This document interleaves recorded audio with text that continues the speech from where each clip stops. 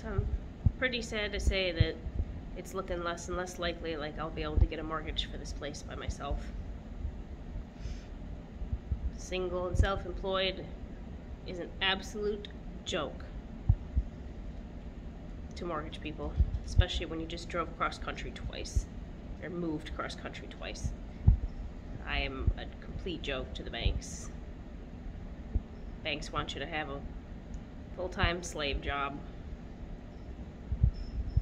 Screw your career, screw what you've been building for a decade, screw trying to actually make something in this world. Full time slave job or bust. I don't know what I'm gonna do. I obviously wrecked everything I built in Oregon to come back here, so I don't know what's next. I'm very disappointed. In a lot of things.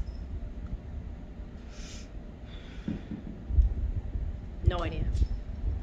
No idea what's gonna be next for me.